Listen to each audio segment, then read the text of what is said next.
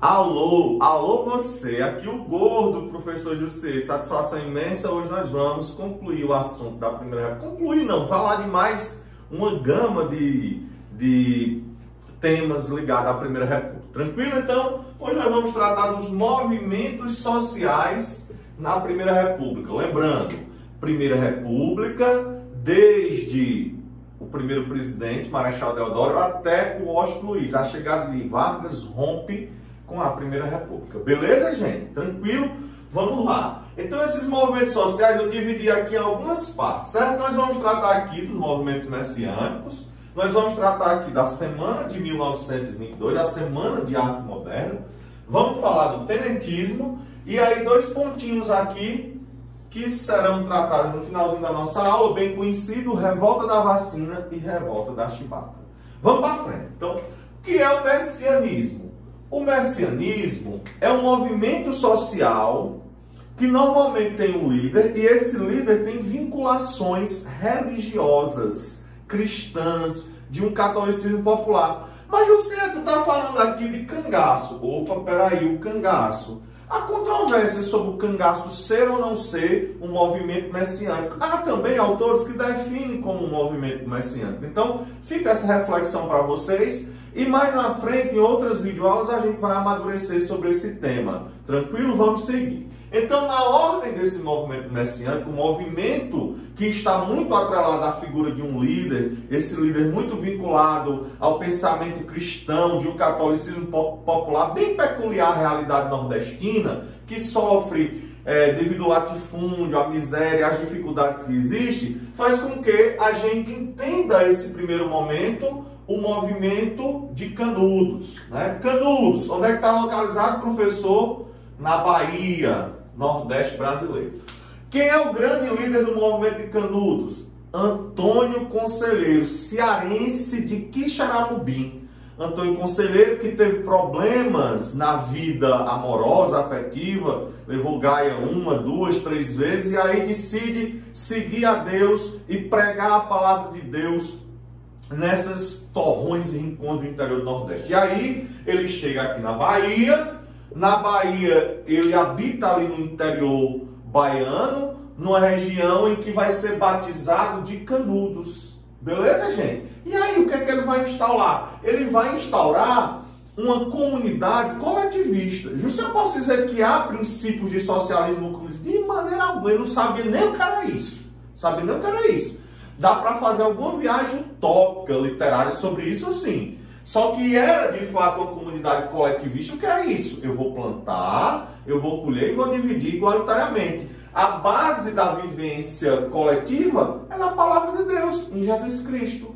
No amor, na caridade, no afeto. Ei, José, Canudos. Canudos cresceu muito, muito, muito. Né? O conselheiro como foi apelidado, Antônio Vicente Mendes Maciel, né, o Antônio, conselheiro, ele era um homem de uma oratória ungida, iluminada. E aí muitas pessoas nos encontros do Nordeste, no semiárido nordestino, passando fome, dificuldade, na seca, começa, começa a habitar aquela região. E aí ele era um grande defensor da monarquia. Ele dizia que a república, ela traz muitos males, muitos males mesmo, gente, ao povo. Porque com o início da república, um pouquinho antes nós tivemos o que? A abolição. E aqueles indivíduos que viveram ali a sua liberdade, que ganharam a sua alforria, foram marginalizados, certo? Então, milhões de brasileiros que conseguiram a sua libertação, eles vão ser marginalizados. Nós vamos valorizar quem? O branco europeu. E aí, principalmente no Nordeste, que não tem indústria, que não tem trabalho, que não tem serviço, então ele é bem acolhido com a palavra amiga e com comida, com a casinha para morar. E aí é uma caracterização desse movimento. Mas você houve guerra, houve um grande conflito, houve um grande conflito com várias fases, com vários movimentos, até que no quarto fogo, como diz ele, que só não ter três fogos vão vencer. No quarto nós vamos levar uma surra e vai acabar. Ele profetizou, correto? E aí, por que o estopim da briga? Como foi o estopim? Ele comprou, gente, madeiras a um, a um dono de uma madeireira e o cara não entregou. Aí os seus parceiros ali da comunidade Canudos foram lá e pegaram, levaram. Aquele cara tinha vindo com coronéis da região e aí os coronéis já estavam perdendo os trabalhadores, né? E esses coronéis já estavam dizendo, ó, oh, ali é um grupo de loucos fanáticos pela monarquia. Né? Então, o presidente republicano ele vai se envolver, o governo republicano brasileiro vai se envolver e vai mandar o exército para eliminar a comunidade de Canudos. E Canudos é eliminado, Antônio Conselheiro vai falecer e milhares de pessoas que habitavam Canudos é, vão ser assassinados pelo exército brasileiro. Vai ser de fato um grande, mais um grande genocídio na na história brasileira. Podemos dizer que um grande holocausto na história brasileira. Beleza? Vamos para frente. O contestado é muito parecido, muito parecido com o que ocorreu em Canudos. Existe um líder, a região, só que a região é aonde? É em Santa Catarina e no Paraná. A divisa entre Santa Catarina e o Paraná, região contestada, por isso o nome. Existe um monge, o monge era um monge José Maria, esse monge era um indivíduo que pregava a palavra de Deus com o catolicismo popular. Não sei o que é o catolicismo popular. É um catolicismo diferente da romanização. Antes os padres celebravam a missa em latim, de costa para o povo. E pouca gente sabe o que ele está dizendo. Depois da reforma no Concílio Vaticano, dentro da igreja, na década de 60, é que o padre fica de frente e começa a conversar. Porque exatamente esse povo que falava a linguagem popular, como o padre Cícero, Antônio Conselheiro, os monges, Zé Maria, Antônio Maria, eles tinham a devoção do povo. Essa região também era uma região em que uma empresa britânica, que, é, uma empresa americana, desculpa, construía uma estrada, estrada de ferro ali e estava explorando o povo daquela região. E vários acontecimentos estavam existindo, e aí o monge monta ali uma comunidade coletivista também. O que é que vai acontecer? Mais uma vez, o exército brasileiro, em nome da República, elimina essas pessoas. Professor, então quer dizer que eles vão ser eliminados como Canudos foi eliminado? Pontualmente. E aí a gente vem para o cangaço, o cangaço que nos inspira, o cangaço que traz romantismo, o cangaço que traz histórias dúbias, o cangaço que parece se resumir a Lampião. Não, não é só isso. É interessante que você entenda que o cangaço ele surge a partir da crítica à injustiça no Nordeste brasileiro, a miséria, a fome, contra o latifúndio, contra o coronel que manda na política, na justiça, que manda na própria lei. E aí vários indivíduos vão abraçar essa causa por exemplo, quando o Lampião aos 17 anos entra nesse movimento do cangaço, ele vai ser só mais um membro do cangaço vivendo ali no bando do senhor Pereira da região de Barro, no interior do Ceará. Depois é que ele monta o seu bando, o povo costuma dizer que Lampião saiu por aí é, matando, batendo, cortando. Não, gente, são vários bandos e todo mundo acha que todo cangaceiro é Lampião, é do bando Lampião, pelo amor de Deus. Vamos separar, vamos pesquisar, vamos entender. Não é assim não certo? Existiam normas, existiam princípios, existia ética. Se eu posso relacionar com o tráfico hoje, ei, é interessante fazer isso? É uma viagem, mas você pode fazer. Por quê? Porque o Estado é paralelo. O que é Estado paralelo? Se o Estado não vai até as pessoas, aparece um líder. Esse líder, ele vai dar alimento, ele vai é, dar alegrias, fazer festas, bebedeiras, etc. É uma população que não tem. Lampião fez isso. Eu posso comparar Robin Hood de maneira alguma, gente. Certo? É, tem autores que exageram demais. Robin Hood, tira dos pobres da rico. Não. A função dele não era roubar, não era tirar. Ele lutava por justiça. Ele lutava pelo fim da miséria do Nordeste. José, há contradições e controvérsias sobre isso? Há, sempre há.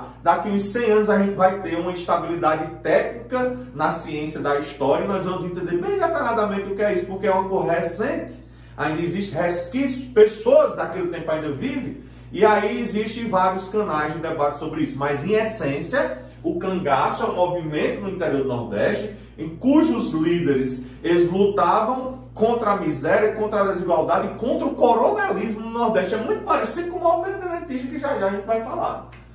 Aí você tem também o Padre Cícero, o fenômeno Padre Cícero, o líder messiânico, sim. Você vai ter uma aula depois só sobre o Padre Cícero? Vai. Mas a gente não pode deixar de falar dele aqui, né? É um cara de um linguajar popular, é um cara de palavra de sapiência, é um padre que informou uma comunidade em uma fazenda no Crata, fazendo tabuleiro grande, depois nasce a Vila de Juazeiro, depois se emancipa em 1911 e é esse monstro que se tornou o Juazeiro, a chamada Meca Nordestina.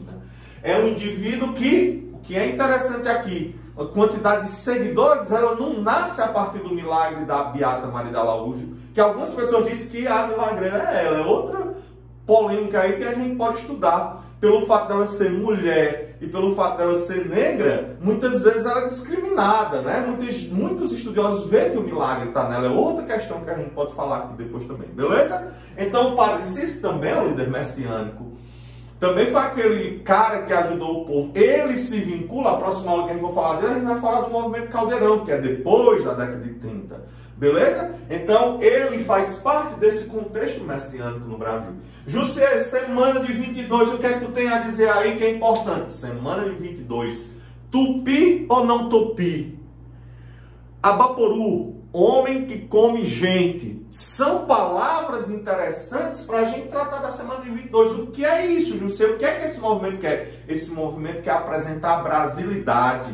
Ele, pela ideia antropofágica do devorar, que o índio, quando lutava e vencia o seu inimigo, ele devorava, cozinhava, comia a carne e ficava com a força de dois, de dois indivíduos, a semana de 1922, a semana de arte moderna de 22, ela tem essa ideia, devorar a cultura europeia, engolir a cultura europeia e se somar a cultura brasileira com a europeia, só que a brasileira superior europeia dentro do Brasil. Ele traz a ideia do verde e amarelo, a ideia de brasilidade, né? Uma característica de arte, de pintura, de escrita nossa própria, sem interferência dos franceses, do, dos portugueses, que era a literatura que a gente consumia, que a gente bebia aqui. Então, eu posso resumir a Semana de 22 como um movimento nacionalista dentro do movimento artístico literário brasileiro? Exatamente, pontualmente isso. Vamos para cá, movimento tenentista. O que era que os movimentos tenentistas desejavam, pessoal? Simples. Eles desejavam igualdade social, olha aí, igualdade de direito, o fim da corrupção, melhoria na saúde e educação no Brasil, gente. E esse movimento é de agora, de, mil, de 2021? Ou esse movimento é da década de 20 na Primeira República, há 100 anos atrás? As mesmas lutas que nós temos hoje, esses caras aqui tinham. Ei, militar de esquerda e era intelectual. Ele era contra o conservadorismo, ele queria progressismo na época. Se liga aqui, ó. Movimento dos 18 do Forte de Copacabana. Ei, José, movimento aonde? 18 do Forte de Copacabana, Rio de Janeiro. Começa com 300 militares, termina com 18. E aí nós vamos ter 17 militares e um civil que vão ser fuzilados, porque eles queriam de fato fazer uma movimentação para tirar o poder posto. Poder posto das oligarquias cafeicultoras de Minas e São Paulo que dominavam o Brasil do jeito que queria, gente. Do jeito que queria. Era uma corrupção louca, era uma politicagem louca depois da ideia que Campos Salles estrutura, que é a política de governadores. Outro grande movimento é a coluna Prestes. Pessoal, isso é um assunto lindo, a coluna Prestes. Luiz Carlos Prestes, o Cavaleiro da Esperança, né? Aquele mesmo que lá na década de 20 participou desse movimento da década de 80, participou da eleição de 89, que eleição linda, né? Aquela volta à democracia no Brasil depois de longos anos de escuridão da ditadura militar. A coluna Prestes, que eles viajaram o Brasil inteiro, conhecendo o povo, a cavalo. Dizem que cerca de 25 mil quilômetros eles percorreram o Brasil debatendo, conhecendo e entendendo o que é o Brasil e lutando, de fato, é, por melhorias para o país, liderado por quem? Luiz Carlos Prestes, por isso recebe o movimento Common Prestes. Um pouco apagado, os livros esquecem do movimento revolucionário paulista de 1924, mas de fato ocorreu, também faz parte dessa conjuntura tenentista, que é, se não, também tirar esse domínio oligarca cafeicultor né, da produção leiteira agropastoril do Brasil do poder que dominou e reinou desde Prudente Moraes até Washington Luiz, sendo 11 presidentes no governo das oligarquias, um período de monopolização da política brasileira gigantesco, que até hoje nós sofremos com atraso desse período.